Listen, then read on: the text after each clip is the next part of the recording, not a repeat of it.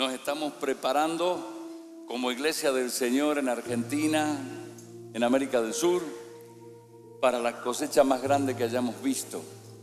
¿Sabe que la Biblia dice que Jesús enseñó que al final de los tiempos iban a haber guerras y rumores de guerra? Dice así, Jesús dijo, pero todavía no es el fin. Y será predicado este Evangelio en toda la tierra y allí vendrá el Señor. Y ahora hay guerras y hay rumores de guerra. Este es el tiempo final. Pero el Señor no viene ya. Dice que ahora viene el tiempo en que será predicado el Evangelio en toda la tierra y el Señor viene. Así que el centro de este tiempo ahora es la predicación del Evangelio. Así que vamos a estar preparados para eso, lo quieran o no. Ahora, para hacer el trabajo del evangelismo necesitamos em, trabajar como Dios mandó que teníamos que trabajar. Y oro que Dios hoy nos muestre cuáles son las tareas que desarrolla la iglesia y que cada uno de nosotros podamos pedirle al Señor que nos capacite para cada una de esas áreas y que podamos descubrir también cuál es nuestra vocación más específica. En el Antiguo Testamento hay muchos pasajes que van hablando de cómo va a ser la venida del Señor, cómo va a ser el tiempo de Dios. Y hay una profecía que a mí me impacta, porque es una profecía para exactamente este tiempo.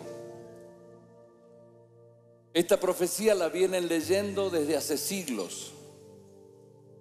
Cuando Jesús hacía referencia a algunas profecías como esta, ya eran viejas, o sea, todo el mundo la leyó. Y todo el tiempo del cristianismo se leyó esta profecía, pero estaba escrita para usted, para ahora, para este tiempo. Así que ahora toma una vida especial para nosotros el poder que está en esta profecía y se va a activar sobre todos nosotros que queremos ver que el plan de Dios se cumpla. ¿Está de acuerdo conmigo? Aleluya. Así que observen la historia de cómo habla el Señor de el evangelismo de los últimos tiempos, de cómo va a ser que tiene una característica que usted la va a descubrir al escuchar el texto. Dice, así, profeta Amos, capítulo 9. Vienen días, o sea, ellos sabían que no era para ahí, era para después. Vienen días, y eso es inminente y es ahora. Por favor, diga conmigo, ahora. Vienen días, afirma el Señor, en los cuales el que ara alcanzará al segador y el que pisa las uvas alcanzará al sembrador. Las montañas destilarán vino dulce, el cual correrá por todas las colinas, los ríos de Dios, fluyendo. Restauraré a mi pueblo Israel, ellos reconstruirán, ahora será mi pueblo la iglesia, ellos reconstruirán las ciudades arruinadas y vivirán en ellas Plantarán viñedos y beberán su vino, cultivarán huertos y comerán sus frutos. Esa es la promesa de Dios para este tiempo. Si percibe, va a notar algo, que ese tiempo, que es el que estamos entrando ahora, tiene una característica especial. ¿Cuál es? Vienen días, dice el Señor, en los cuales el que ara la tierra alcanzará al que está cosechando la cosecha anterior y el que pisa las uvas lo va a alcanzar al sembrador. Quiere decir que se van a empezar a correr el uno al otro, lo que marca que esta temporada en la que estamos entrando es una temporada de aceleración. Yo quiero que marque esto, aceleración. Y significa que lo que Dios tenía planeado para tu casa de paz, para tu célula, para la red o para lo que sea, va a explotar de crecimiento mucho más rápido que lo que viste en los últimos años o en toda tu vida. Dios lo va a hacer ahora porque viene ese tiempo de aceleración. Por lo tanto, tenemos que estar preparados y tenemos que ir preparando los equipos que van a trabajar acá. ¿Y cuál es el equipo? Y son los que aran, el que siembra, el que cosecha y el que pisa las uvas. Porque Dios está haciendo una relación, está ilustrando el trabajo del evangelismo con el trabajar la tierra para sembrar uvas. Leemos de nuevo para que usted lo vaya pescando. Mire, dice, vienen días, o sea que ahora vienen y están encima nuestro ya, creo que llegaron. Vienen días, allá esperaban, ahora ya no, ya llegó. Afirma el Señor en los cuales el que ara, ahí está uno, alcanzará al que cosecha y el que pisa las uvas al que siembra. Hay cuatro grupos de trabajo ahí que se van a ir estorbando unos a otros o, o parece que se van estorbando porque se encuentran. Y dice, los montes destilarán vino dulce. Los montes destilarán vino dulce, el cual correrá por todas las colinas. ¿Qué quería anticipar, qué quería simbolizarnos con esa expresión de que los montes iban a destilar vino dulce? En esta, en esta expresión parabólica no está hablando de la, de la obra del Señor como la cosecha y la siembra del trigo, como hace otras veces, sino está hablando del trabajar la tierra para plantar una viña, un viñedo. Por eso dice que el que ara lo va a alcanzar al que está vendimiando, el que está cosechando las uvas y el que va cosechando lo va a alcanzar, al que está sembrando, la rueda va a ir demasiado rápido. Y dice, y ese lo va a alcanzar al pisador de las uvas. El pisador de las uvas es el último en la serie. Y es el que, ¿para qué se pisa la uva? ¿Para producir qué? Vino. El vino que se produce por pisado, por lo menos el que yo he conocido, el que te hacen probar es el vino patero. ¿Por qué le llaman vino patero? Porque se hace con las patas. En serio. No, está hecho en el proceso normal de, molino que lo, lo, aprieta y va. El vino patero es un vino más artesanal, por lo menos en las zonas viñateras. Y yo conozco, por lo menos del norte, que es donde yo nací. Y, y he estado muchas veces en Cafayate donde están algunos de los mejores vinos y he conocido las bodegas adentro y te hacen recorridas. Cada vez que llegaba un pariente lo llevábamos y le hacíamos conocer, así que hasta le puedo dar de memoria cómo hacían todo ahí. Pero fuera de esas grandes bodegas hay lugares que te venden vino patero y ese está hecho como tiene que ser. Y que uno le pregunta, dice, pero este, ¿será que se lava bien los pies antes de...? Y ellos te dicen, para, para, ¿vos querés vino rico o no? Así que yo no sé cómo serán los procesos. Pero ese vino patero tiene una característica, es muy dulce. Es muy dulce y es caminador muy rápido. Así que cualquiera que se toma dos traguitos ya empieza a sonreír y a hablar pavadas. Em, y la Biblia dice que esta aceleración viene en la cosecha de las almas y lo simboliza con la planta de un viñedo. Entonces dice, el que ara lo va a alcanzar al, que siembra, al segador, al que pisa las uvas, porque lo que va a producir finalmente es vino. El vino en la Biblia tiene distintos simbolismos, pero en este caso tiene un simbolismo totalmente diferente. Es la iglesia de Dios trayendo el gozo de la salvación a la tierra. Por eso dice que cuando venga la aceleración y se alcancen entre ellos, los montes destilarán vino dulce que van a correr por todas las colinas. ¿Saben?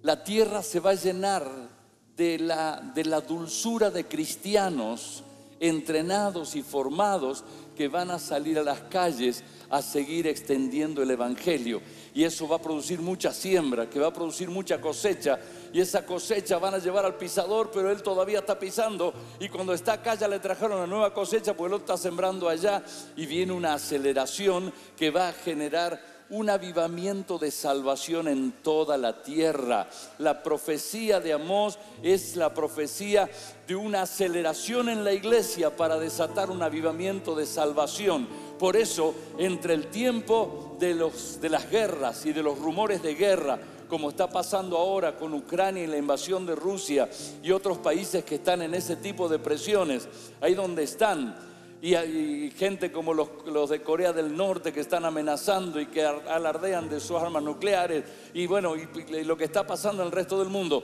Desde ese momento hasta la venida del Señor, dice, el Evangelio será predicado en toda la tierra. ¿Y cómo va a ser si no lo hicimos en dos mil años, a pesar de que en todo el mundo ya hay iglesias? ¿Cómo vamos a decir que será arrasado el mundo para alcanzarlos a todos? de esta manera. La aceleración de Dios que va a generar tanta cosecha de buen fruto en las viñas del Señor que van a producir abundancia de vino dulce, cristianos que traerán el gozo de la salvación sobre toda la tierra. Empezó ese tiempo y usted y yo seremos partícipes del tiempo más glorioso de la iglesia. Por eso necesitamos entender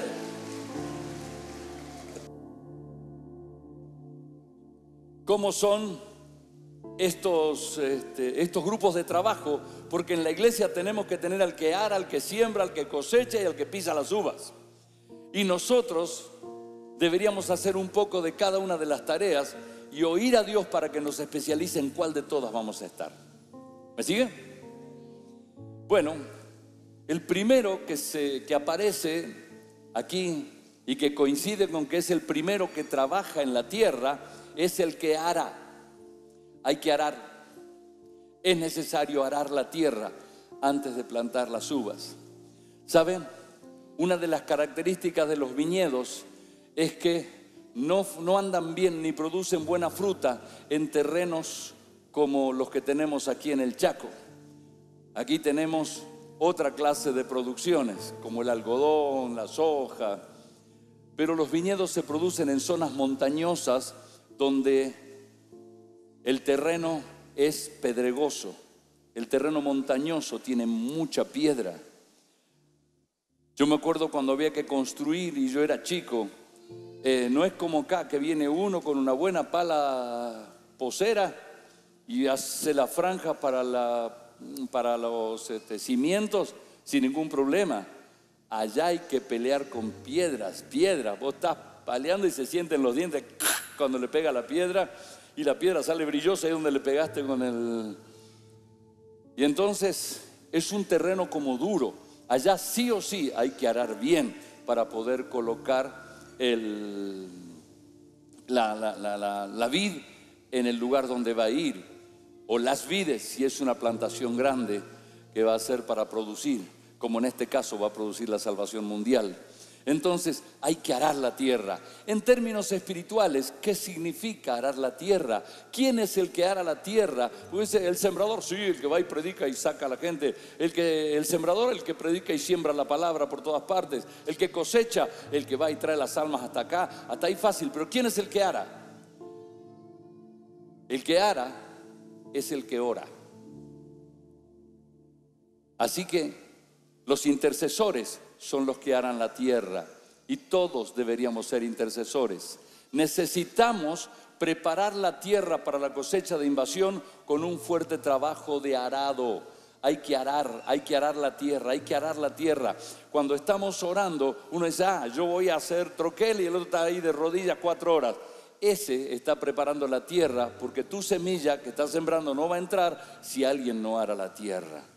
Entonces, como iglesia, en las redes, en los ministerios, una iglesia que no tiene un movimiento de oración, no solo el equipo de intercesión, sino que toda la iglesia tenga una cultura de oración y oren específicamente arando la tierra para la salvación, esa, esa iglesia no crece.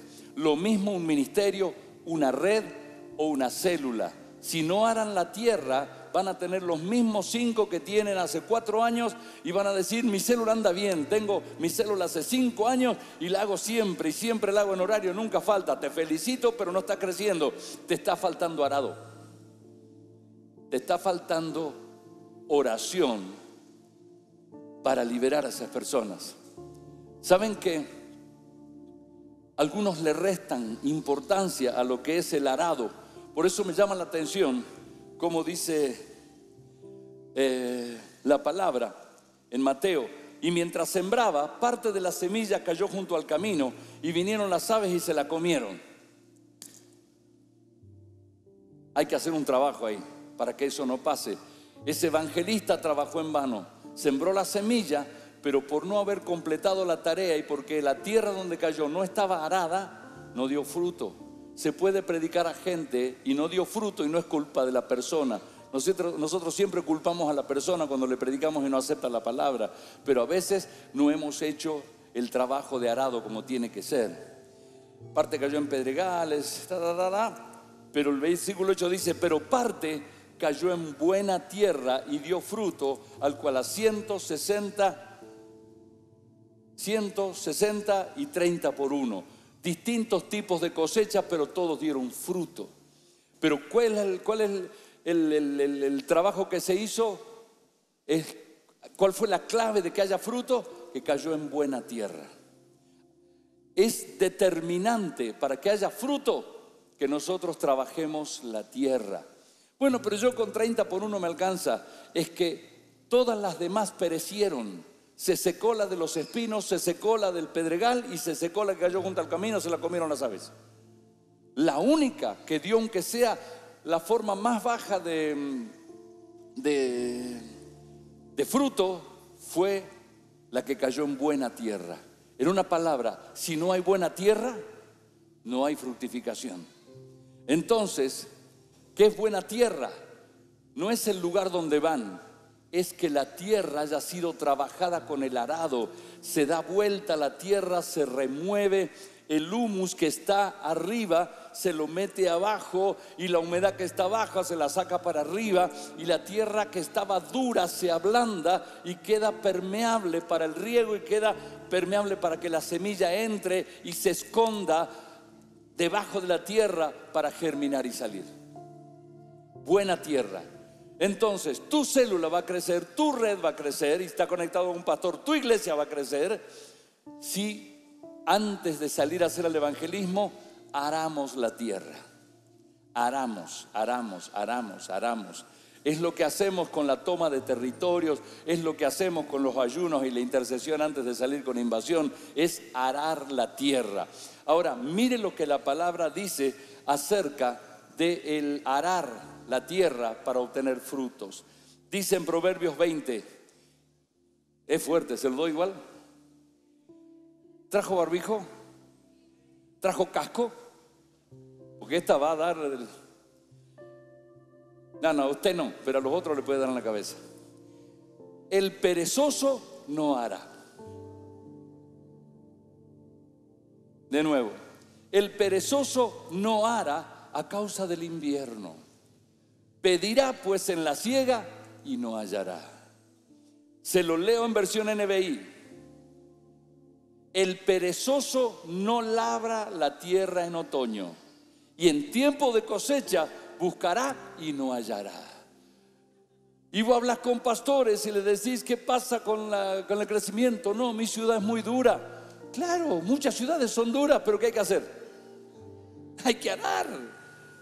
Te está faltando arado pero es que mi tierra es demasiado dura, tiene así unos pedragones. Justamente es la tierra más, más preparada para dar buenos frutos.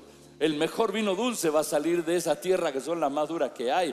No, en mi barrio la gente no quiere saber nada, son todos ricos, nariz parada, nadie sabe nada. Parece que ahí no va a entrar el evangelio. Esa tierra bien trabajada, con mucho cascote y con mucha piedra, es ideal para que sacan unas uvas así de grandes, jugosas y salga un vino extraordinario que pueda cambiar la tierra. En mi barrio no sale porque hay mucha droga, están encerrados donde abundó el, pecado, sobreabundó la gracia. Y a Dios te va a dar el doble de fructificación que en otro lugar si la tierra es demasiado blandita. Hay gente, uy, yo estoy hoy que hoy estamos como en familia porque estamos los locales. Entonces, eh, yo puedo estar más libre para, ¿cómo se lo digo? Eh, mire, cuando el Señor me da una palabra, yo se la doy. Cuando Dios me bendice y me suelta gozo, yo se lo doy. Cuando Dios me da con un caño, también se lo comparto. Para eso soy su papá, así que usted recíbalo. Escuche, hay gente que no le gusta labrar la tierra, le cuesta mucho trabajo labrar la tierra. Entonces, ¿sabes qué hace? Busca tierra blandita y saca las y, trata de tirar semilla en otras células. Trata de tirar semilla en alguna otra iglesia. Ah, ya hay un hermano que hay unos hermanos de una iglesia y van allá y se congregan. Le queda lejos, yo tengo la célula acá. Esa tierra está blandita, no necesito arar. Dios le va a dar, usted puede traerlo, los hará crecer, pero cuando Dios dé el premio se lo va a dar al que lo, al que lo trabajó y no a usted, aunque lo tenga en su célula, va a trabajar en vano. ¿Sabe una cosa?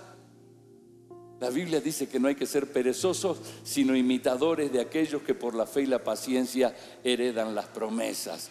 Y habla de esa palabra cuando habla de la multiplicación y de la promesa que dice, te prometo y te juro que te bendeciré con abundancia y te multiplicaré grandemente. Esa promesa no es para perezosos y los perezosos no harán, pero usted y yo vamos a hacer un trabajo en nuestras células. ¿Cuántos guías de células de Casa de Paz tengo acá?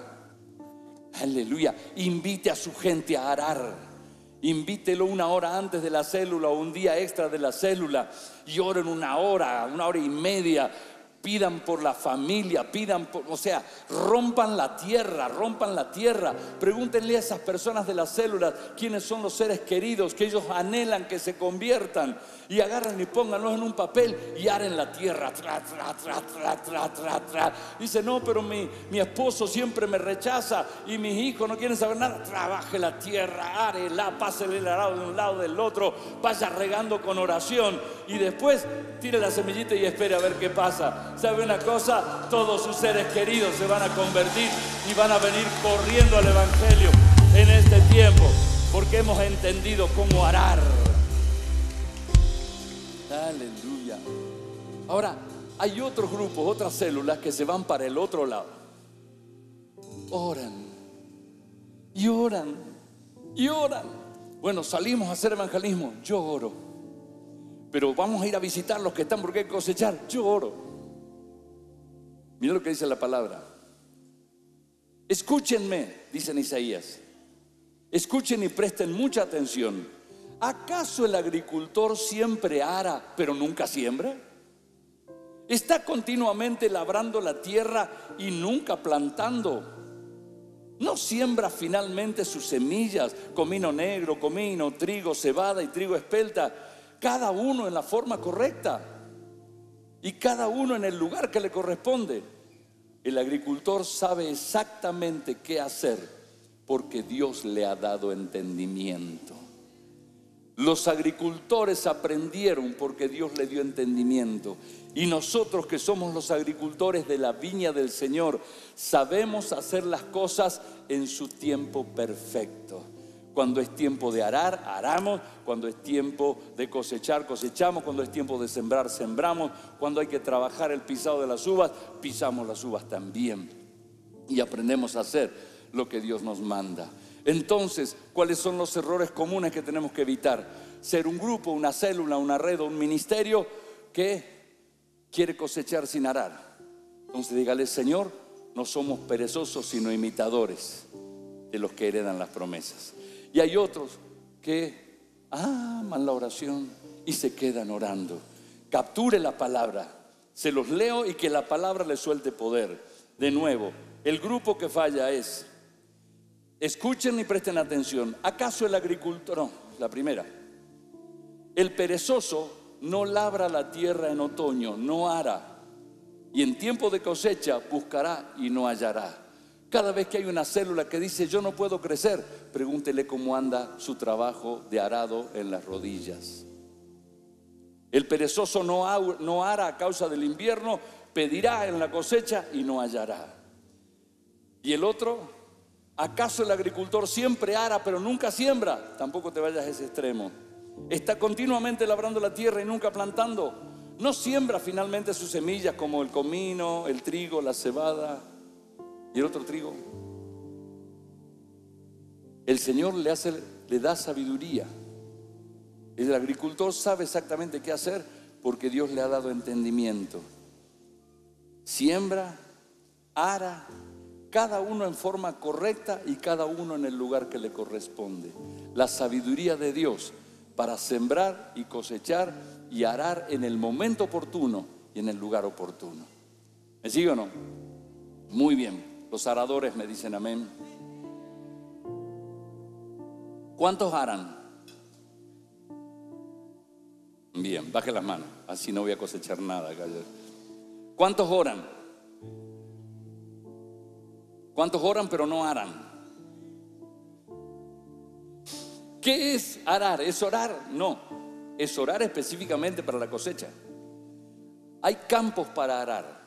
Si usted tiene un campo así, y ara por acá, y ara por acá, y ara por acá, y le hace 200 pasadas esta, y al mes que viene viene y le vuelve a arar acá, y no ara el resto, le va a faltar cosecha. Hay que aprender a orar todo el campo completo. Yo le recomiendo cinco campos para arar. A. Tenemos que orar por los inconversos para que reciban la palabra de salvación. Porque nuestras armas no son carnales, son poderosas en Dios para destruir las fortalezas que hay en el corazón de la gente. Para derribar todo argumento, que son conclusiones de su forma de pensar. Para tirar abajo toda altivez que impide el conocimiento de Cristo y para traer cautivo todo pensamiento a Cristo. ¿Cuál sería nuestra arma poderosa de Dios, la arma espiritual? Arar la intercesión. Las rodillas van a quebrar toda dureza, todo argumento y toda estructura del diablo que haya levantado para que tu familia no se convierta. El diablo se siente seguro porque confía en las armas que tiene, los tiene encerrados en fortalezas, los tiene envenenados con argumentos contra el Evangelio, sus pensamientos salen corriendo para cada lado, pero él no cuenta que vino uno más fuerte que él y le quitó las armas en las que confiaba. Y cuando nosotros oramos, derribamos los argumentos, derribamos la altivez, tiramos abajo las estructuras del infierno que los encerraban y ese pensamiento viene dócil al conocimiento de Jesucristo y se van a convertir. Tus parientes se van a convertir, tus vecinos se van a convertir, tus seres queridos se van a convertir. Alguien me tiene que decir un amén sobre esto. Aleluya. Ora por los inconversos. Segundo, otra manera que hay que orar para tener una buena cosecha es otra parte del campo. Hay que rogar al Señor de la mies que envíe obreros a su mies porque es la directiva que Dios nos dio. Así que hay que orar por obreros. Ore por gente que le ayude. Usted que tiene una célula, ore por discípulos para abrir un discipulado y empezar a formar obreros. Usted está sirviendo al Señor cuando abre una célula. Usted es alguien que va a tener, eh, va a tener galardones por estar sirviendo al Señor evangelizando en una célula. Pero usted va a cumplir completamente el mandato de Dios cuando usted va y hace discípulos. Entonces, si usted tiene una buena célula, ¿sabe? Usted tiene que trabajar la tierra y orar y pedirle al Señor de la mies que levante obreros a su mies, gente de la célula que lo empiece a incomodar porque dice, ¿y ahora qué hago? ¿Y cómo puedo servir? ¿Y qué vamos a hacer? ¿Y por qué nuestra red es tan pequeñita? ¿Por qué no tenemos una célula más grande como la del otro que yo vi por allá? Yo quiero que crezcamos, que, no se incomode, no lo mande a otra red. ¿Sabe qué? Fórmelo como discípulo porque Dios le está levantando obreros de esos que primero incomodan, pero son aquellos que van a abrir gran camino para las cosas del Señor. Y el Señor te va a dar un ministerio fuerte rodeado de discípulos que serán formados por el trabajo del discipulado. Amén.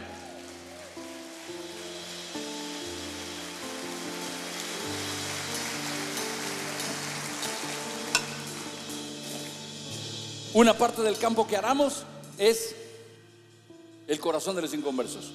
Otra parte del campo que haramos es, Señor de la mies, envía obreros a tu mies. Y en ese mismo campo oramos, Señor, que los obreros oigan que escuchen tu mandato y que obedezcan tu mandato. Y se completa ahí. Sí. Tenemos que arar la tierra que tiene que ver con la guerra espiritual, cubrirnos de los ataques, cubrir de los ataques al liderazgo, especialmente a los pastores y a sus familias. Así que cuando usted está arando la tierra, tome tiempo para arar el campo de la protección a la iglesia, a los nuevos y al liderazgo. Cubrimos, cubrimos y trabajamos. Cancelamos toda venganza del infierno, todo contraataque, toda, este, todo lo que el diablo quiera hacer, usted lo trabaja en el nombre de Jesús. ¿Me sigue o no? Y lo cancela porque usted tiene autoridad. El que tiene autoridad me dice amén. De cuarto sería lo mismo cubrimos también a los cinco conversos a los que le estamos por predicar o que le hemos predicado, para que Dios haga algo por ellos. E quinto y último, ore por la semilla sembrada, que no sea comida de los pájaros que vienen a robarla. La Biblia dice que lo que cayó en un, en un terreno que no estaba arado, porque el arado va hasta cerca del camino, pero no pisa el camino cuando dice junto al camino, era un territorio que no estaba arado. Cuando cae la tierra, la semilla en tierra no arada o mal arada, puede quedar expuesta y vienen los pájaros y se la llevan. Y cuando Jesús explicó la parábola, dice, son los demonios que vienen, hacen una pasada rasante y se roban la semilla que usted sembró correctamente. Era una buena semilla, pero no dio fruto porque el diablo se la robó. Entonces, cuando estamos trabajando en la intercesión, tenemos que cubrir la semilla para que la semilla esté protegida por Dios y el diablo no la toque. ¿Cuántos me siguen? Solo eso, pero todo eso. Entonces lo primero que hacemos es arar. Arar para poder sembrar. El segundo que aparece es el sembrador. ¿El sembrador quién es? Yo me voy a mover acá. ¿Me permite mudarme? Hay más unción acá. No, justo baja el chorrito del aire de arriba. Acá arriba está bravo. El sembrador. Sembrador es el que lleva la buena semilla. El sembrador lleva la buena semilla. Ahora, la Biblia dice, los que sembraron con lágrimas, con regocijo cosecharán. Irá andando y llorando el que lleva la preciosa semilla, pero volverá con regocijo trayendo sus gavillas. Qué notable que dice que el que lleva la semilla va llorando, el que siembra, y el que cosecha viene muerto de risa. Parece injusto, pero lo que te está explicando es que la tarea de la siembra requiere guerra, batalla, esfuerzo, que te cierren la puerta en la cara, que se burlen del Evangelio, que se burlen de tu Dios. Pueden pasar muchas cosas. Ahora que el campo está preparado es menos difícil, pero dice, se va a esforzar mucho para eso y va a tener una hermosa cosecha. Volverán con regocijo. ¿Sabes por qué dice que con regocijo viene en el tiempo de la cosecha? Porque la cosecha es el tiempo de mayor alegría en el campo y en el reino de los cielos también usted va a ver que la palabra cada vez que habla de gozo y regocijo está hablando de cosecha, de almas. Así que, ¿cómo que hay tanto regocijo en la, en la cosecha? Claro, Jesús dijo, os digo que así habrá más gozo en el cielo por un pecador que se arrepienta que por 99 justos que no necesitan de arrepentimiento. ¿Saben? Hay fiesta en los cielos cada vez que uno se salva. Así que si usted empezó la célula con tres personas y a la mitad del año tiene cuatro, no diga, anga. Diga al Señor, gracias porque armé una fiesta, una pachanga en el cielo con un alma que se salvó y la añadí. Así que no menosprecie que el Señor le dé uno solo, porque ya eres un, eh, un sembrador que cosecha. Le estoy hablando que la siembra genera esfuerzo, pero la cosecha genera una gran alegría. El carcelero, el filipense, ¿se acuerda? El de Filipos. Cuando eh, tembló la, cárcel por los cantos de, Pedro, eh, dice, y él tomándolos en aquella misma hora de la noche les lavó las heridas y enseguida se bautizó con todos los suyos y llevándolos a su casa, a Pablo y Sila, su amigo, los puso en la mesa y se regocijó, los puso ante la mesa y se regocijó con toda su casa de haber creído a Dios. El gozo David dijo, no quites de mí el gozo de tu salvación. La salvación trae alegría, trae gozo. En Hechos 11 dice, y la mano del Señor estaba con ellos y gran número creyó y se convirtió al Señor. Y cuando llegó la noticia, estas cosas, a oídos de la iglesia, enviaron a Bernabé. Este cuando llegó y vio la gracia de Dios, se regocijó y exhortó a todos que no se aparten. Cuando Jesús recibió a los 70 que vinieron de hacer evangelismo, dice, y en aquella misma hora Jesús se regocijó en el Espíritu. En una versión dice, se puso a cantar y a danzar Jesús, porque la gente se estaba salvando. Una iglesia, una célula o un ministerio que no tiene siembra y cosecha, si no hay cosecha, nunca va a ser una iglesia feliz o un ministerio feliz. Hay células con cara larga, hay ministerios con cara larga, no acá en la iglesia, hay redes con cara larga en otros lados. Eh, y he visto iglesias con cara larga, porque la religión tiene cara larga. Usted va a un lugar muy religioso y le caminan todos así. Oh, amado hermano, hay gran regocijo en mi alma. Ay, Señor. Pero cuando usted ve cosecha genuina, si tu célula empieza a cosechar gente, si la red empieza a cosechar gente y ven que crece, se están preparando, entonces la atmósfera de regocijo del cielo va a estar rodeando tu vida, tu casa y tu familia. ¿Sabes una cosa? Es precioso el gozo, pero para eso tenemos que sembrar la tierra, sembrar la semilla en buena tierra y para eso hay que arar. Así que para eso está el que ara y para eso está el que siembra. Que alguien me diga un amén. Aleluya. Así que, hablando de la siembra, está el que ara y después está el que siembra.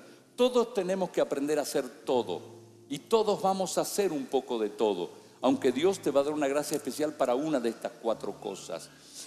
Y cuando evangelizamos, Dios le dijo a Timoteo, que no era evangelista, era pastor, le dijo, tú anuncia el mensaje de Dios en todo momento. En Reina Valera es en tiempo y en fuera de tiempo. Que prediques la palabra, que instes a tiempo y fuera de tiempo. Y le dice después al mismo Timoteo, pero tú sé sobrio en todo, soporta las aflicciones y haz obra de evangelista. ¿Quién tiene que hacer obra de evangelista? Baena, el hermano Horacio Baena. No, la obra de evangelista la tienen que hacer todos, porque Dios nos manda a predicar en tiempo y fuera de tiempo, en invasión y fuera de invasión, o cuando sea, estamos haciendo obra de evangelista.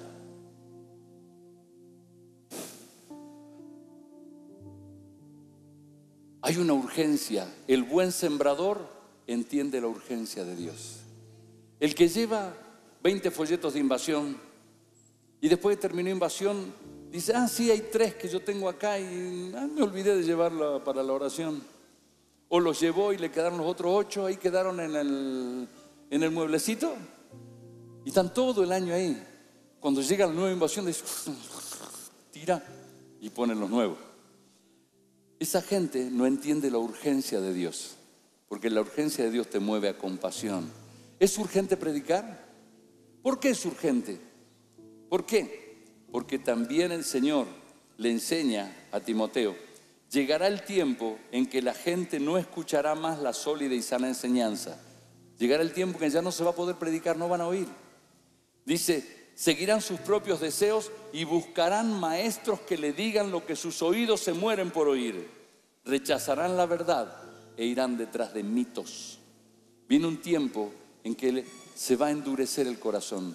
La cosecha está madura ahora. Cuando la madurez se pase y se pase de largo y lo que no fue cosechado va a, va a endurecerse y ya no va a servir para cosechar. ¿Me sigue amén? Jesús era un encendido en la cosecha, un apasionado por la cosecha. Y él dijo, cuando le trajeron comida, no quiero comer, estoy ocupado, estoy desatando un avivamiento en la ciudad de Sicar. Pero la comida, mi comida, es hacer la voluntad del que me envió y que termine su obra. No le voy a llevar nada a la mitad a Dios. ¿Y cómo es eso? ¿No decís vosotros, aún faltan cuatro meses para que llegue la ciega? Yo les digo, alcen vuestros ojos y miren los campos porque ya están blancos. ¿Sabe qué está diciendo? Se aceleró el asunto. Ustedes están acostumbrados a que haya ciertos tiempos. Oh, en cuatro meses lo hacemos. Dios dijo, dejen de mirarse los pies y miren lo que les rodea y se van a dar cuenta que hay una aceleración, que esa gente que te rechazó cada año cuando ibas, ahora todos te van a aceptar en un lapso de cuatro meses, cinco meses que vayas a predicarle. Hay una aceleración y este es el tiempo de la aceleración. Alguien bendiga al Señor, porque yo estoy seguro de que eso te va a transformar la vida.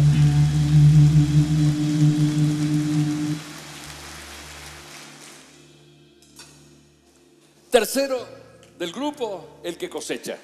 Todos tenemos que cosechar. El segador. Decía además, así es el reino de Dios como cuando un hombre echa semilla en la tierra y duerme y se levanta de noche y de día y la semilla brota y crece sin que él sepa cómo. Pero porque de suyo lleva fruto la tierra, Dios da el crecimiento. Luego, primero, primero hierba, luego espiga, después grano en la espiga. Y cuando el fruto está maduro, enseguida se mete la hoz porque la cosecha ha llegado. ¿Sabes una cosa? Dice que el labrador puede trabajar relajado, duerme de día, de noche, quiere decir que también dormía la siesta, está permitido bíblicamente dormir la siesta. Entonces puede estar durmiendo la siesta, va, hace lo suyo. Pero cuando llega la cosecha, cuando apareció el tiempo de cosecha, se puso a trabajar, mete la hoz y levanta la cosecha. Que alguien me diga un amén. O sea que la cosecha es un tiempo en el que hay que trabajar duro. Yo le digo una cosa, cuando hay cosecha en el campo, nadie hace otra cosa. Las mujeres normalmente, mientras el hombre sale a recorrer los campos y sale uno con el arado, las mujeres están en la casa, algunas cocinan, otros preparan no sé qué, la otra arregla las plantas, la otra borda, qué sé yo qué es lo que hacen en el campo cuando están las mujeres solas, pero cuando hay cosecha, todos, los niños, los jóvenes, los, nadie se queda fuera, todos están cosechando. Porque el tiempo de cosecha tiene un límite y la cosecha tiene, que ser sacada en el momento correcto. Así que tenemos que disponernos a trabajar en la cosecha y ser buenos cosechadores también. Y en nuestros ministerios tener buenos cosechadores. ¿Lo quiero o no?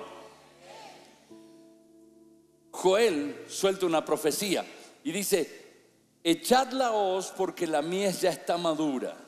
Está hablando de ahora. Dice que en los últimos tiempos Dios iba a derramar todo de, su espíritu antes de que venga la venida del Señor. Y está instruyendo, echad la hoz porque la mies está ya madura, vengan, desciendan porque el lagar está lleno, rebosan las cubas porque mucha es la maldad de ellos, muchos pueblos en el valle de la decisión. Valle de la decisión es el valle de la salvación. Muchos pueblos en el valle de la decisión, porque cercano está el día de Jehová en el valle de la decisión. Meter la hoz es traer salvación porque el Señor viene y no hay tiempo para eso. Ay, no sé si tengo tiempo de contarles, pero cuando yo me convertí, al poquito tiempo de que me convertí, porque conocí al Señor, yo tuve un regalo, conocí al Señor y en ese mismo tiempo conocí a la señora. y, entonces, eh, recién convertido, después de un año de novio nos casamos, recién casados, em, estábamos en un departamentito, tenía una sola puerta y una sola ventana y le puse un choricito así la verdad. Y y yo estaba orando un día en la cocina, porque era el único lugar que tenía ventana. Estaba orando en la cocina, frente a la mesa, apoyado en un banquito que teníamos ahí, así, un tapizadito ahí arriba. Y tuve una experiencia. Hoy sé que fue una visión profética, pero tuve una experiencia que en ese momento me asustó y no la entendí. Y le pregunté a Alicia qué podía hacer, porque ella ya tenía un año más que yo de creyente, así que ya era toda una pastora. Y cuando estaba orando, tuve una visión. En mi oración yo abría el ojo y seguía viendo eso, abría los ojos y seguía viendo lo mismo. Vi un campo que no entendía qué clase de campo era porque nunca había visto un campo así. Donde yo nací no hay trigo. Muchos años después, pasando por, por el interior de la provincia de Buenos Aires, dije, mira, ese es el que yo vi una vez en visión y me dijeron, eso es trigo. Así que lo que vi ese día sin conocer fue un trigal maduro, con un color eh, blanco tiza, así, un color hermoso, brisa se movía, y había cosechadores que estaban trabajando en la cosecha con una hoz, con guadañas. Entonces yo miraba en mi visión ahí, yo quería salirme porque me asustaba, pensé que me había mareado, que me pasó algo, pero estaba ahí. Vi eh, hombres con guadañas que trabajaban así, y algunos habían hecho un redondito chiquitito y trabajaban así medio a desgano, otros habían hecho ya un espacio más grande, había otros que se notaba que eran muy diligentes y habían hecho trozos así que parecían 6, 7, 8 metros por 4, 5 metros de ancho, así como una canchita. Y ellos, claro, estaban cancheros y con espacio iban fa, fa, fa, fa, fa, fa, fa, iban agrandando su lugar. Y había de los pequeños, de los medianos, de los más grandes, estaban todos en su lugar. Yo no entendía qué era todo eso. Y mientras estaba mirando, de golpe, como que le hubieran encendido una hornalla, se levanta un incendio en los bordes, en las afueras. Yo te digo, esto me pasó hace un montón de años, pero ahora se me revivió cuando veía las imágenes de los incendios de corrientes. Y vi ese fuego que se prendió allá lejos, lejos, era muy distante. El fuego se levantó con unas llamaradas tremendas y en ese momento le agarró apuro a todos los cosechadores y los vi que vieron el fuego y todos empezaron a trabajar. Y el que estaba chiquitito se forzaba, pero no podía hacer grandes cosas. El otro sí corría para allá y agrandaba y todo esto. Y todo lo que no era cosechado empezaba a ser quemado y devorado por las llamas cuando venían. Hasta ahí venía bien, porque en un momento empecé a oír aladidos y miro bien la visión y todo ese campo se habían convertido en personas que estaban plantadas en la tierra. Y la gente veía el fuego y gritaba y pedía que lo saquen y los cosechadores se movían con las, em, con las, eh, con las guadañas, corriendo con toda la fuerza con esa voz y sacando y alcanzaban a sacar algunos, pero otros se quemaban. Y yo los pude escuchar. Y yo los vi algunos mirándome a mí cuando, lo estaban, cuando se estaban quemando. Me afectó por semanas eso. Y un día Dios me habló y me dijo, eso van a ser los tiempos finales, porque hay que levantar la cosecha cuando todavía hay tiempo. Nunca me olvidé y todavía hoy, más de 35 años después, me cuesta no quebrantarme y lagrimear cuando hablo de eso porque es una realidad. Cuando veía en las redes y en algunas historias de televisión los animalitos que salían medio chamuscados y se corrían, corrían hacia el bombero, aunque siempre le huyen al hombre, iban a ver para que le eche un poco de agua fresca encima y cuando le ponían para tomar agua zambullían su cabeza ahí para tomar.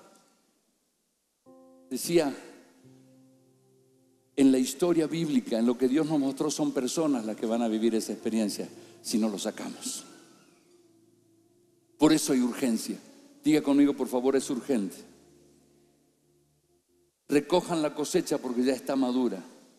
Vamos, vengan a pisar las uvas porque el lugar donde pisan, se pisan las uvas ya está llena. Las tinas se están derramando por lo grande de su maldad. ¿Qué es eso? La maldad del último tiempo. La palabra dice, y por haberse multiplicado la maldad, el amor de muchos se enfriará. Dice eso cuando habla del último tiempo. Lo normal es que la maldad crezca y está creciendo tanto que se está desbordando. Y Dios dijo, guarda que vengo. Hasta aquí llegamos, hay que levantar la cosecha. Por eso, invasión del amor de Dios de este año y la de los próximos siete son clave para la venida del Señor, para preparar esto. Dice, las tinas están derramando de lo grande que es su maldad. Hay muchos pueblos en el valle de la decisión porque se acerca el día del juicio del Señor. En esta invasión todos vamos a ser aradores. ¿Va a orar o no? ¿Nos va a ayudar a orar? No solo la oración de 24 horas y Vamos a orar en los tabernáculos, vamos a orar en los horarios que nos toquen y vamos a pedir que Dios salve a la gente. No quiero ver a mis seres queridos gritando que no los coseché a tiempo cuando venga el fuego sobre ellos. Tenemos que trabajar y hasta el más duro se va a convertir si aprendemos que hay una clave en arar especialmente. Y si hay uno que es bien duro, trabájele y rómpale la cabeza varias veces en oración. Pásele con el arado para allá, para acá, para acá, y todos los días le pasa de nuevo hasta que quede blandito. Usted le va a deber la palabra y van a venir. Y usted va a encontrar cosecha cuando ara, porque el perezoso no ara y cuando busca la cosecha no está. Vamos a ser sembradores tremendos. Vamos a ver, ya tenemos los folletos acá, son hermosos. Me encantó. Bien modernos, bien actualizados y le pusimos la cara de Jesús. Eh, Dios guió cada detalle de este folleto. Es, eh, está muy modernizado, está lindo. Y y adentro tiene la oración de entrega y todo. O sea que si por ahí alguien agarra el folleto y no habla más con nadie, por lo menos ahí está el mensaje, mensaje de Cristo y hace la oración de entrega si quiere. O sea, lo vamos a cosechar de alguna manera. Le dejamos el anzuelo para que se lo ponga, digamos.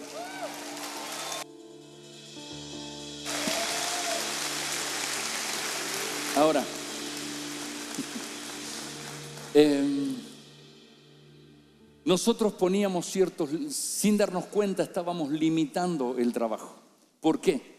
Porque hay personas que tienen una vocación muy fuerte de sembradores.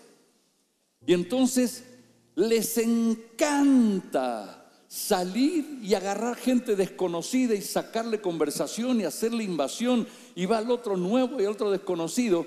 Y hay otros que le cuesta mucho ir al nuevo, ir y le romper el hielo y, el otro se da vuelta, mira, hasta luego, le dice, lo mira y no, porque no están, es su temperamento.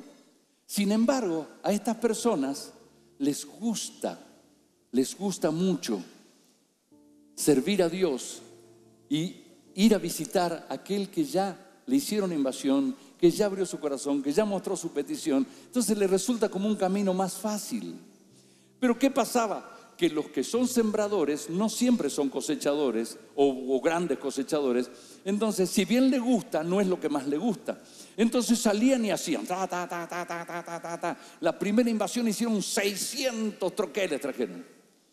Cuando le dijeron que tenía que visitarlos a todos, se dio cuenta que era más fácil para él sembrar que cosechar. Y terminó dándole un poco al líder, un poco a la iglesia, y algunos le quedaron guardados, y salió y visitó, pero no todos los que había hecho. En las siguientes invasiones, en vez de hacer 600, hacía 100, 150, porque dijo, tengo demasiado para visitar. Entonces, la potencia de ese hombre como sembrador estaba frenada. Por otro lado, la gente que le gusta visitar, como le costaba evangelizar, hacían pocos troqueles, los visitaban a todos y ya estaban limitados. Porque salían y visitaban y, listo. ¿Y ahora quién miro? porque no, no sembraron demasiado. Entonces, ahora vamos a estar trabajando con sembradores que van a sembrar todo lo que le dé la fuerza, las ganas y la unción para salir a cosechar. Y aunque traigan 2.500 troqueles hechos, no le vamos a exigir que visite todos, sino que visite el mínimo, que visite los 40, 30, 50 que se anime a visitar como cosechador. Pero puede ser libre y no, lo no le voy a impedir que siembren. Pero no los quiero dejar solos. Entonces, ¿qué vamos a hacer? Vamos a levantar personas que serán cosechadores o visitadores. ¿Y qué es eso? Mucha gente que va a poder ir a las casas hacerle visitas a un puñado de personas a las que no le hicieron invasión porque le costó hacer invasión. ¿Están haciendo o no? Ahora, esto genera un cambio fuerte también en, invasión, que es, nosotros lo estamos experimentando como dueños de casa y estamos guiando a los pastores en la misma dirección. ¿Qué, vamos a lograr con esto? Por un lado, que el cosechador no necesita ser un líder, sino cualquier cristiano que sea sólido, firme sea un miembro de la iglesia, que lleva tiempo en la iglesia, tranquilamente puede ir a hacer una visita, ¿sí o no? Entonces, Ahora la carga de la visitación no va a estar solo en los sembradores y no va a estar solo en los líderes de la iglesia, porque tenemos un, un, padrón de casi 40 mil miembros activos y sin embargo son 4 mil los líderes que salen a la calle y que tenían la carga de visitar a todos. Por ahí le ayudaban algunos y hay muchos que querían. Bueno, ahora cualquier miembro de la iglesia, que sea un miembro estable de la iglesia, que esté bautizado, que ya lleve un tiempo de más o menos un año, puede ser menos si está bien comprometido, que hizo el ABC, que ya está, una persona que es un miembro fiel de la iglesia y dice, yo voy a visitar cinco, me animo a visitar cinco. Perfecto, cuando llegue el momento se le van a asignar cinco troqueles. O los hizo él o se los dio a alguien. ¿Me sigue o no? Y entonces esa persona va a responder por esos cinco troqueles, mientras que otro responderá por diez, otro por cincuenta. Y hay gente que dice, yo dispongo de mediodía, trabajo por la mañana en una oficina, a la tarde tengo libre y por seis semanas voy a dedicar mis tardes a visitar, voy a visitar diez por día. Entonces, si perfecto, vas a trabajar 30 días completos de salida y podés visitar 10 por día, toma tus 300 troqueles porque vas a poder hacer visitas. Pero la idea es que los visitadores generen acompañantes. Son ellos mismos u otras personas que van a mirarle con el ojito a los que es otra, otra categoría de cosechadores personas que van a tomar la responsabilidad, miembros de la iglesia que van a tomar la responsabilidad de decir, yo voy a ayudar a sacar la cosecha delicada y voy a acompañar a un nuevo. ¿Lo vas a disipular? No, si después Dios me llama, lo puedo disipular. Pero yo voy a hacer la tarea de la conversión, ayudarlo. ¿Saben qué? Cuando uno va a ver los troqueles de invasión, hay personas cristianas, hay personas que se convirtieron están listas esa para discipulado. Hay otros que tuvieron una emoción, pero todavía no se les reveló. Son gente que está cerca del reino, no entró por la puerta, se remó hasta la puerta. Pero eso es bíblico. Sí, alguien le hizo una pregunta a Jesús y Jesús cuando eh, Jesús le hizo la pregunta al hombre y cuando él respondió, él le dijo, bien respondiste, no estás lejos del reino de Dios. Estaba en la puerta, alguien le tenía que dar un empujencito para entrar. Entonces, ese es el otro grupo. Y hay otros que están inconversos. Llenaron porque vino alguien y como completa un folleto para una rifa, completa los datos, así completó, pero ahora tiene alguien que le va a hablar de Cristo y se puede convertir. Estamos, estoy explicando cómo va a funcionar la invasión. Yo me estoy tomando este trabajo, este, este tiempo, que en el, de la mañana fue mucho más cortito, porque esto le quiero explicar a usted que va a trabajar con nosotros. Y entonces, esa persona durante un mes, dos meses, va a, eh, el domingo se va a levantar y va a decir, no te veo, no te veo, no te WhatsApp, periquita, no te veo, estás todo bien, necesitas ayuda. No, no pude venir porque este, se le pinchó la moto a mi marido. Voy para allá. Y sale con la moto, la carga y la trae. O le dice, te pago un taxi. O le dice, por favor, vení al culto siguiente cuando tu esposo arregla la En una palabra, lo va acompañando. No voy, me siento desanimado, o no fui, y lo va acompañando, lo guía al ABC, lo guía a. Lo va empezando a trabajar en consolidación. Todavía es cosecha de gente nueva. ¿Cuántos me van siguiendo? Entonces vamos a sembrar mucho más y vamos a visitar mucho más. Nosotros hemos recogido casi, dale un aplauso al Señor porque eso es una multitud que van a venir, van a venir, van a venir.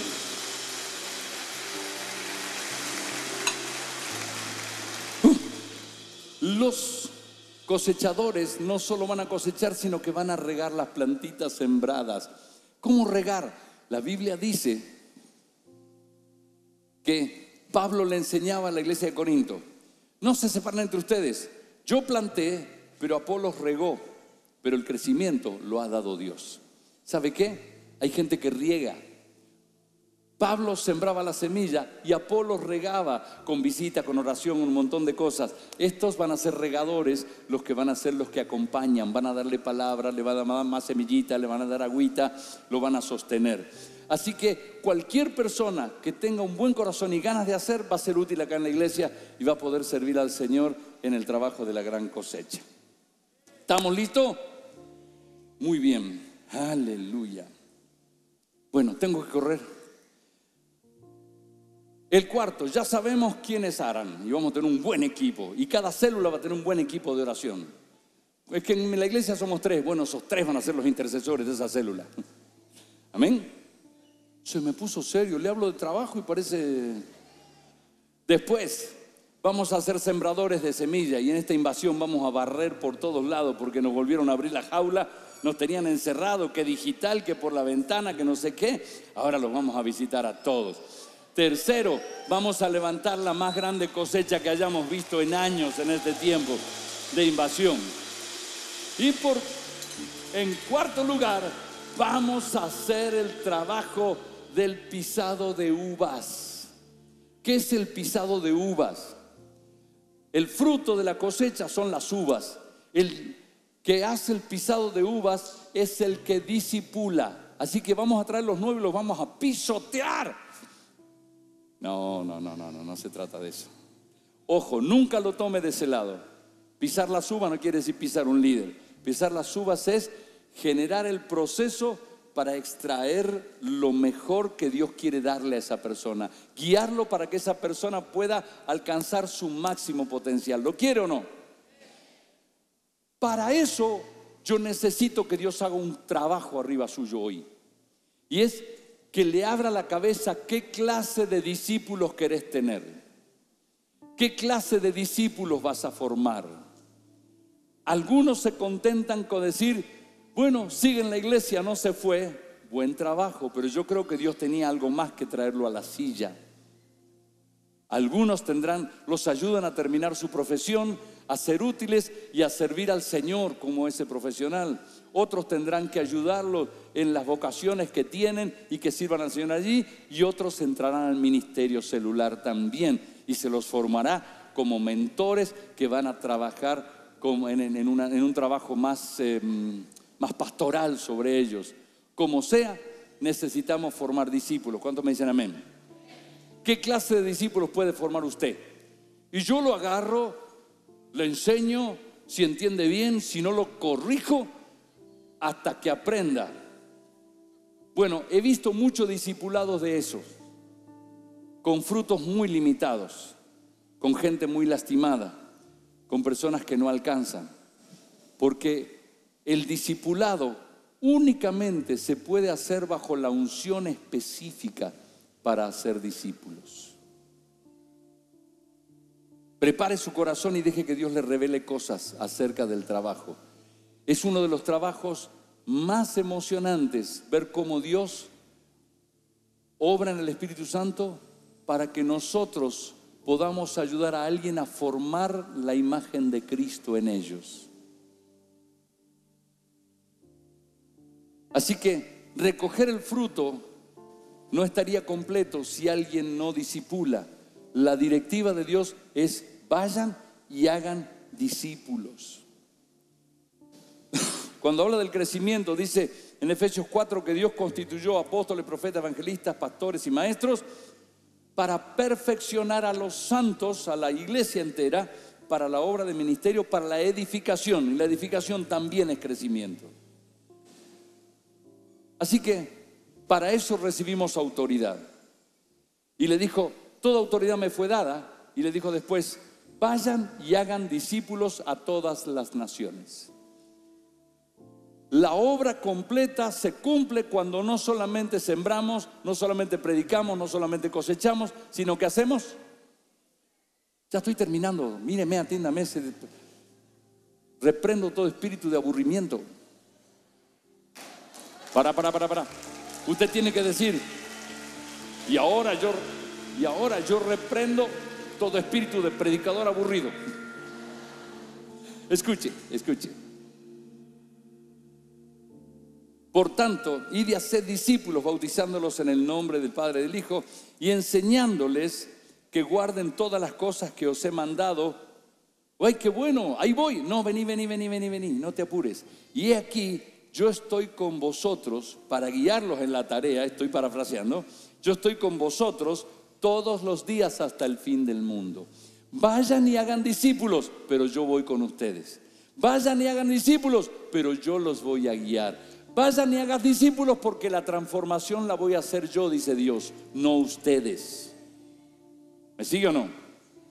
Así que el verdadero discipulado es mediante Dios, es con la ayuda de Dios.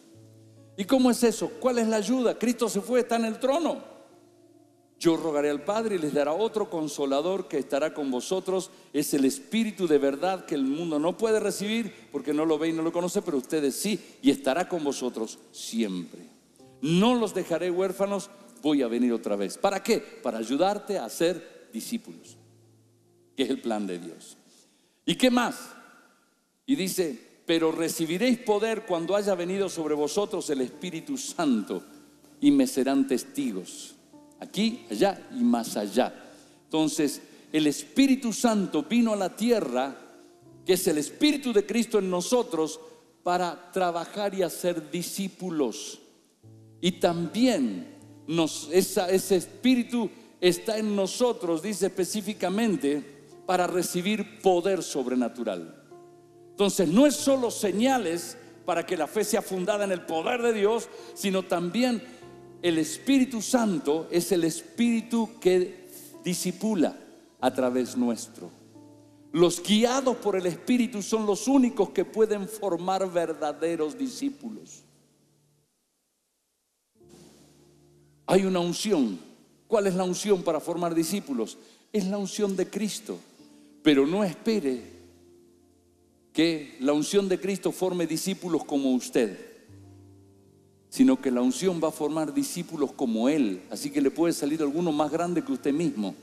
Por ahí usted tiene ciertos compromisos, hoy se está comprometido con la iglesia y quiere crecer y va creciendo y por ahí Dios le levanta un evangelista gigante o un pastor que alcanza las naciones o un apóstol, porque el que está discipulando es más grande que usted. Es el Espíritu Santo que está llevando el discipulado adelante. Hay una enorme diferencia entre los discípulos que yo puedo formar y los que la unción pueden formar en mí. Hay un testimonio. Ahí, se lo van a tomar los chicos. Lo vemos. Exacto, ahí lo vemos. Me encanta. Ya lo vemos. Ya lo vemos. Aleluya. Aleluya. Bendigo el espíritu evangelístico que hay ahí.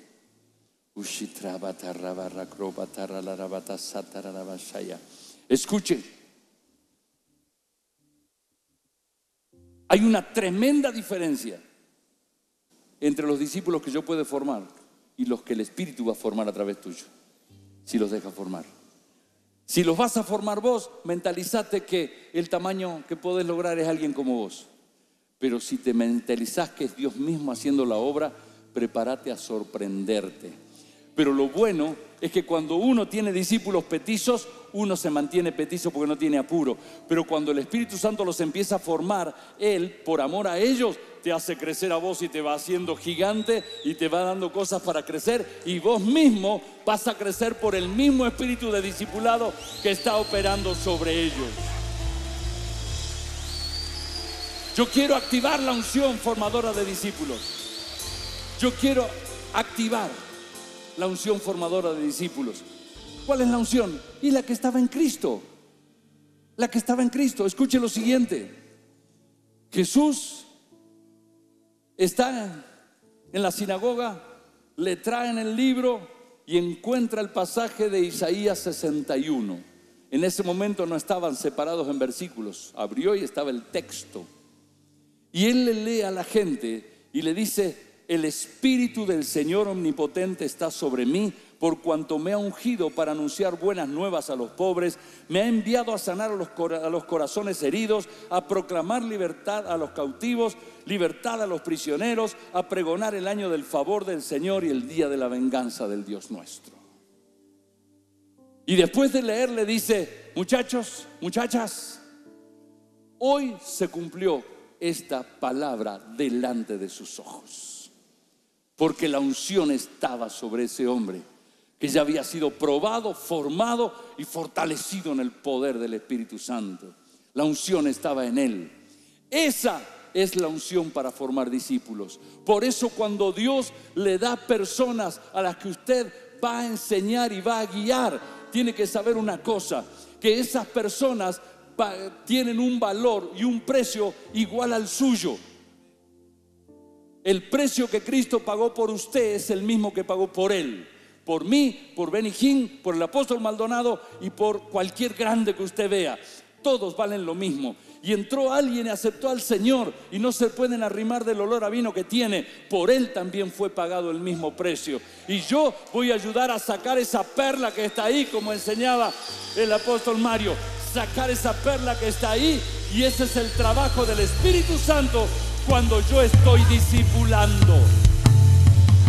No encerremos la idea del discipulado en una reunión de una hora y media que das en cierto lugar a cierta hora cada semana. El discipulado es un compromiso de dejar que el Espíritu Santo en mí empiece a formar a Cristo en esa persona por la que yo estoy orando. ¿Y qué hace el Espíritu Santo? ¿Qué es lo que voy a hacer yo como discipulador cuando la unción viene sobre mí? Y la unción misma lo dice. El Espíritu Santo está sobre mí.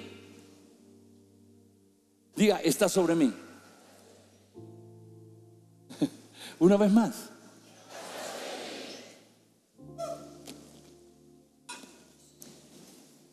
Por cuanto me ha ungido, diga conmigo, soy ungido para pisar las uvas y sacar fruto bendito para Dios. Por cuanto me ha ungido para anunciar las buenas nuevas a los pobres, me ha enviado, y aquí observe, me ha enviado a sanar los corazones heridos. Toda gente que viene del mundo, que está bajo el maligno, viene maltrecha, lastimada y herida. No lo mande a hacer célula, no le ponga yugo de trabajo si primero no deja que el Espíritu Santo lo sane. Se sienta con la persona y le habla al corazón, escucha sus problemas y le da palabras de sanidad y ora por ellos. Proclamar libertad, dice, me ha enviado a sanar los corazones heridos, a proclamar liberación a los cautivos. Tu discípulo viene lleno de cadenas y de ataduras. Pelea con la pornografía, pelea con la droga, pelea con el alcohol, pelea con el mal carácter. Está cautivo de la depresión. El espíritu que está en vos es el único que los puede liberar. Los va a trabajar, los va a formar. Me he enviado a pregonar el año del favor del Señor. Están acostumbrados a pensar que el día siguiente será peor que el anterior y así, y vienen desesperanzados. Hay que avisarle que ahora está entrando con su salvación al año del favor del Señor y le renueva la esperanza y que sepa los pensamientos que tiene Dios para él, pensamientos de paz y no de mal, que sepa que los caminos que anduvo estaban llenos de espinas, pero los caminos en el Señor son diferentes porque son más altos que los caminos que él andaba. Necesita ser restaurado en esperanza. Mire primero el corazón del discípulo, la discípula que le toca. Cuando alguien se salve, recíbalo primero para traer sanidad, salud, restauración. Restáurele el ánimo, restáurele las fuerzas. Dice, a pregonar el año del favor del Señor, el día de la venganza de nuestro Dios. Hay que enseñarle que ahora hay que caminar en santidad. Escuche, a consolar a todos los que están de duelo. Cámbiele el ánimo. La gente viene despedazada por dentro. No tienen ganas de nada entran a un culto, un culto de gozo donde estamos celebrando a Dios y se incomoda de ver tantos locos saltando. ¿Sabes por qué? No porque seamos locos saltando, sino porque ellos desconocen el gozo que hace que una persona pueda saltar de alegría. Esa persona no lo podemos conectar, enchufar a la iglesia así, sin explicarle por qué hay gozo. El gozo de la salvación, la plenitud de gozo que hay a la diestra de Dios, el gozo de perderle el miedo a la muerte. Necesita saber que los planes de Dios se cumplen, que de ahora en adelante la voluntad de Él se va a cumplir, que es buena, agradable y perfecta. Bienaventurada la persona a quien Dios no inculpa de pecado y cuyos tuyas transgresiones han sido perdonados. Háganle sentir, sáquenle el yugo de la condenación, del sentir que no pueden hacer nada. Sáquenle el yugo que les hace sentir que no son merecedores de nada y que aprendan a recibir el espíritu de adopción. Avísele que no es más esclavo, que ahora es hijo y que es heredero y que es coheredero con Cristo y que puede recibir del cielo todas las cosas. Una vez que esa persona entiende su nueva identidad y su corazón se llena de la atmósfera del cielo, que es justicia, paz y gozo, esa persona está lista para ser discipulada más allá y el Espíritu Santo lo empieza a hacer. Se va a dejar guiar por el Espíritu Santo. Dice que esa unción también es poder para reconstruir las ruinas de las cosas que le fueron mal. Cuatro, reconstruirán las ruinas antiguas y restaurarán los escombros de antaño y hasta repararán las ciudades asoladas. ¿Sabe? Esas personas vienen peleando con cargas de maldición. De hasta la tercera y cuarta generación viene la maldición. Por ahí sus padres eran un amor, pero él ni idea de lo que era su tatarabuelo. Necesitamos, con el poder del Espíritu Santo, y también con, la, con el discernimiento de Dios, orar por ellos y quebrar las maldiciones, las iniquidades que heredaron de su gente, de sus antepasados. Hay que empezar a restaurar las ruinas que hay adentro de su corazón. Hay frustraciones que golpearon a sus abuelos, sus padres, a él. Generalmente cuando hay alguien que me cuenta que empezó dos veces o tres veces algún negocio y le fue mal, le pregunto, ¿y tu padre cómo era? Lo mismo. Ay, no me digas que sí, mi abuelo también. Bueno, ahora llegó al lugar donde hay alguien con una unción que quebranta las maldiciones porque el diablo ya fue vencido, destruido, derribado. Reconstruirán las ruinas antiguas. Esas personas volverán a edificar su propia familia que la estaba destruyendo van a edificar de nuevo sus sueños, su vocación, su trabajo, sus estudios. Van a reparar las ciudades cuando Dios los empieza a usar. Pero en lo personal, cuando habla de reparar ciudades, lo que reparaban son los muros.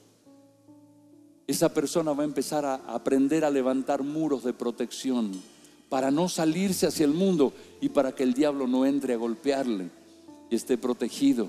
Va a levantar murallas sólidas alrededor. Ahí el Espíritu Santo a través de usted está formando un discípulo a quien Dios le está formando carácter. Dice, repararán los escombros de muchas generaciones. Lo de él, lo del padre, lo del abuelo. El Espíritu Santo lo hace. Una oración de un minuto le puede cambiar el resto de la vida a alguien cuando usted dio en la tecla correcta y oró.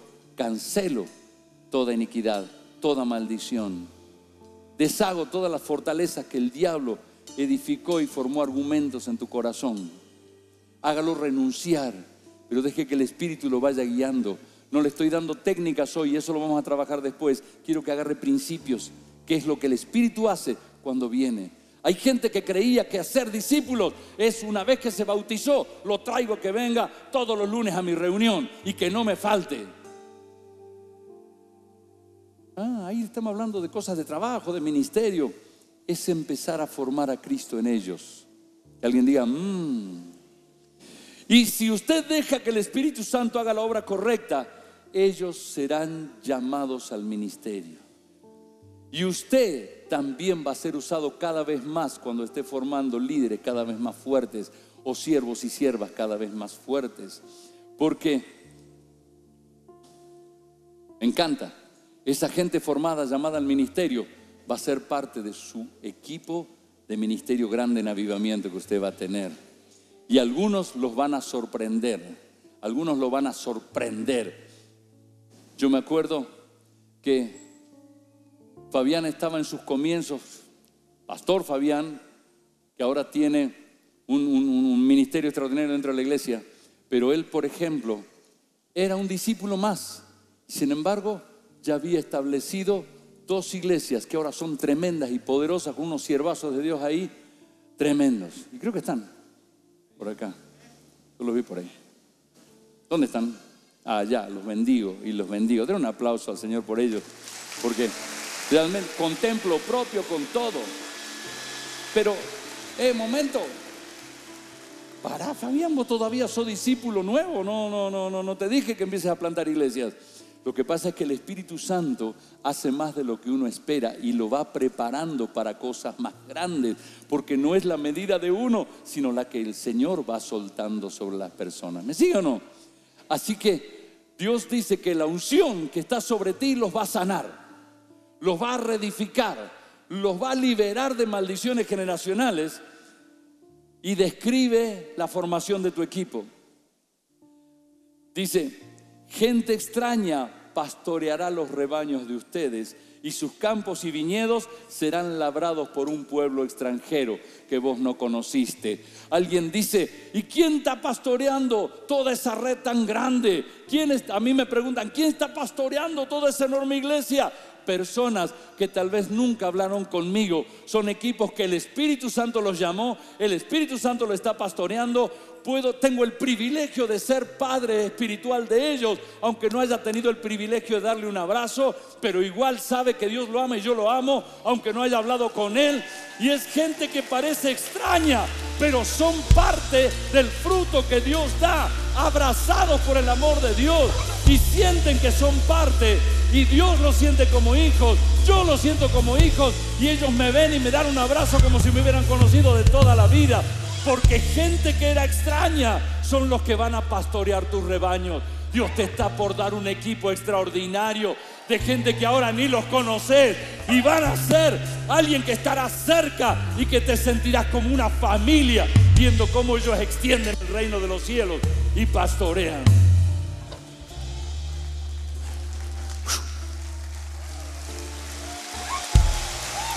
Wow, Señor, esa gente va a pastorear.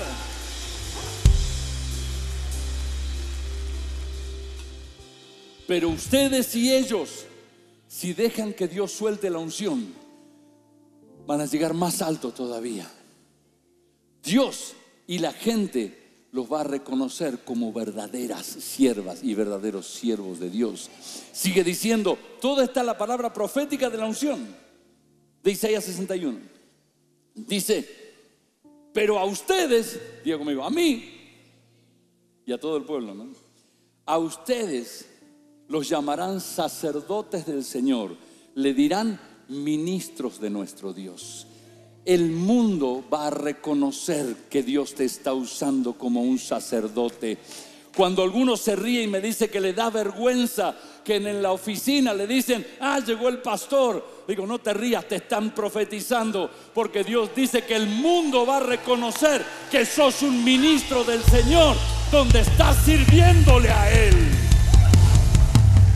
Y tu gente también será llamada ministro del Señor, ministros del Dios nuestro. Dios está levantando un pueblo de reyes y sacerdotes, una generación santa que no juega, sino que está vestida de sacerdote.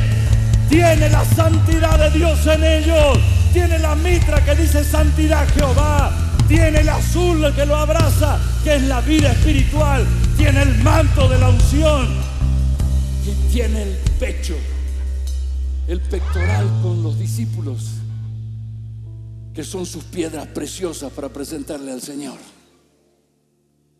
Sacerdotes, ministros.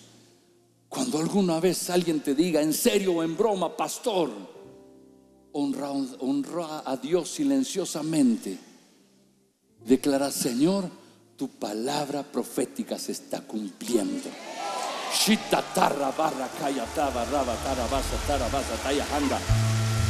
Aleluya. Tengo que terminar corriendo. Aleluya. Me dieron un ultimátum ahí en el televisor. Bueno, cierro acá. Cierro acá. Casi. Cuando Dios los empieza a formar, también le va a dar los recursos. Y tus discípulos y ustedes van a entrar a la prosperidad de los que sirven a Dios. ¿Cómo es eso? Dice que esas personas que serán ya llamados sacerdotes se alimentarán de las riquezas de las naciones y se jactarán de los tesoros de ellas. En vez de su vergüenza, no te puedo pagar. En vez de su vergüenza, mi pueblo recibirá doble porción en vez de deshonra y se regocijarán en su herencia y en la tierra recibida como herencia. Viene abundancia del cielo para los discípulos formados por el Espíritu Santo. No van a andar galgueando. No he visto justo desamparado ni su simiente que mendigue pan. Dios va a traer abundancia. Y lo último, no pienses solo en el barrio. Tu medida puede ser más corta de qué discípulos vas a formar. Levanta tus ojos y mira las naciones de la tierra, porque Dios puede levantar gigantes que den vuelta a la otra parte del mundo por causa del Evangelio, porque no sos vos, es el Espíritu Santo el que lo está formando. Sigue diciendo, versículo 8, yo el Señor amo la justicia, odio el robo, la iniquidad, y en mi fidelidad los recompensaré y haré con ellos contigo y con el equipo que está formando y que los discípulos que Dios está formando. Haré pacto con ellos, un pacto eterno.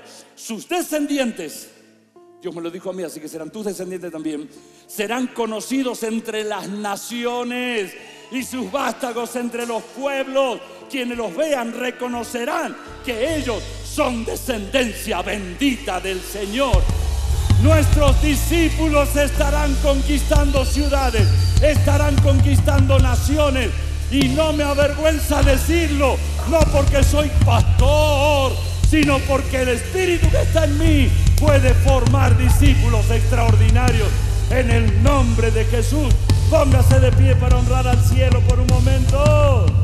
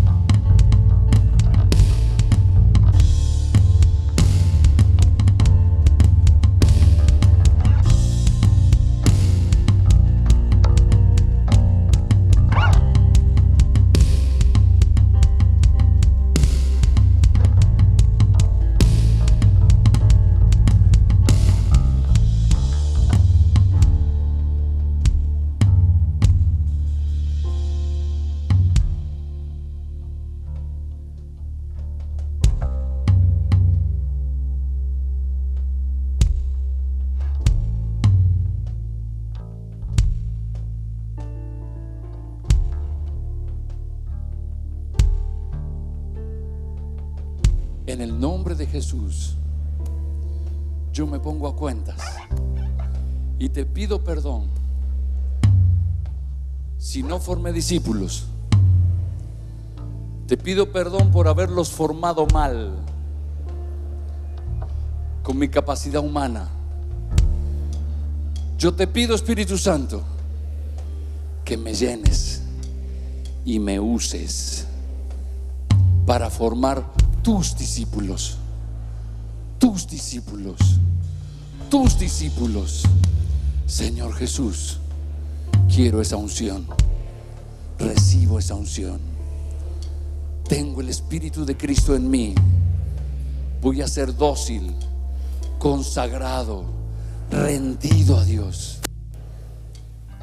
Y voy a formar cuidadosamente a esos sacerdotes, ministros de Dios, que vas a darme la honra y el privilegio de cuidarlos y de formarlos, aunque tenga que sufrir dolores de parto, como dice Pablo, lo voy a hacer hasta que Cristo sea formado. Y como dice Joel, el vino dulce cubrirá la tierra yo seré parte de este nuevo avivamiento en el nombre de Jesús. Cuenta conmigo, Señor. Yo le pido que cada uno haga un pacto personal con Dios. Ahora. Y le diga algo sobre su llamado, sobre su servicio. Y le diga que usted rompe los límites que usted tenía de lo que podían hacer sus discípulos. No, yo no soy ni siquiera este pastor acá no creo que pueda lograr nada grande.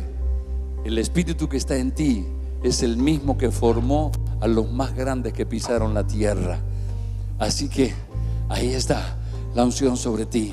Padre, yo activo el espíritu que está en ellos.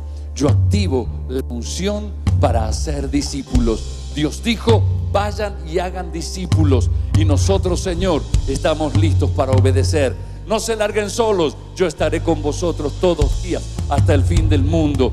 Y cuando vaya enviaré al consolador. Él les enseñará todas las cosas y los va a llenar de poder para hacer la tarea. En el nombre de Jesús de Nazaret, ahora mismo yo declaro, Señor, que se activa en cada uno el fuego y el poder del Espíritu Santo. Tiene 30 segundos para hacer un pacto de servicio con Dios y el fuego va a caer sobre el altar donde usted ponga ese sacrificio. Háblele a Dios con su boca, no en la mente, y dígale cuál va a ser su sueño, qué es lo que va a hacer para Él, cómo se rinde para servirle, con cuánto de usted puede contar el Señor. Dígaselo de una sola vez, ahí está. Ahí está, dígalo de una vez. Ahí está, ahí está, ahí está, ahí está, ahí está, ahí está, ahí está, ahí está. Ahí está, ahí está, ahí está, ahí está, ahí está, ahí está, ahí está, ahí está. Dígaselo, dígaselo, confírmeselo. Eso es un altar, eso es un altar y el fuego cae sobre el altar y el fuego en el altar no se apagará, sino que de día y de noche arderá. Dios te está llamando, te está activando, te está inquietando a que hagas la obra del ministerio en el nombre de Jesucristo de Nazaret. Ahí viene, ahí viene, ahí está, ahí está, ahí está, ahí está, ahí está. Señor, fuego sobre esos altares, en el balcón, aquí abajo donde estés, fuego sobre esos altares. Señor, estamos preparándonos para ver el avivamiento más gigantesco que hayamos visto y una cosecha donde van a entrar mis amigos, mis parientes, mis vecinos, mi barrio entero. Señor, porque estamos listos para la aceleración. Esta unción de formar discípulos viene con una unción de aceleración. No le digas nunca a Dios, espera, todavía no. Decile a Dios, cuando vos me digas, aquí estoy. En el nombre de Jesús de Nazaret, Señor, fuego sobre ellos. Uno, dos, tres. Fuego de activación. Fuego, fuego, fuego, fuego, fuego, fuego, fuego. Activa, activa, activa, activa, activa, activa, activa. Active, active, active, active, active, active, active. Ahora, ahora, ahora, ahora, ahora, ahora. Llamamiento de Dios. Dios está despertando llamados. Dios está despertando vocaciones de servicio. Dios te está poniendo carga por aquellos que todavía no conocen a Dios. Dios te pone dolor. Así como yo vi el incendio que quemaba a las personas y me desesperé. Yo sé que Dios te muestra la urgencia y el apuro de Dios para que alcances lo que Dios te quiere entregar. Ahí está, ahí está, ahí está, ahí está, ahí está, ahí está. Fuego, fuego, fuego, fuego, fuego, fuego, fuego, fuego, fuego. Aleluya. Haga una declaración profética para terminar. Yo declaro. Déjenme solo música. Bien fuerte. Yo declaro. No, no, no, no. Esto es guerra. Haga volar el techo. Yo declaro que estoy en el nuevo tiempo, tiempo de avivamiento. Voy a hacer la tarea de la viña. Voy a sembrar. Voy a arar. Voy a arar. Voy a arar. Voy a romper toda dureza. Voy a sembrar. Voy a cosechar y regar. Y voy a sacar el mejor vino para el cielo. Señor Jesús, yo sé que me estás formando como, como un obrero del avivamiento. Yo veré tu gloria, disfrutaré tu gloria en la tierra y llevaré bien, buen fruto a tu presencia. En el nombre de Jesús de Nazaret, soy gente de avivamiento. Soy obrero de avivamiento. Estoy en avivamiento. En el nombre de Jesús. Amén. Amén. Y amén.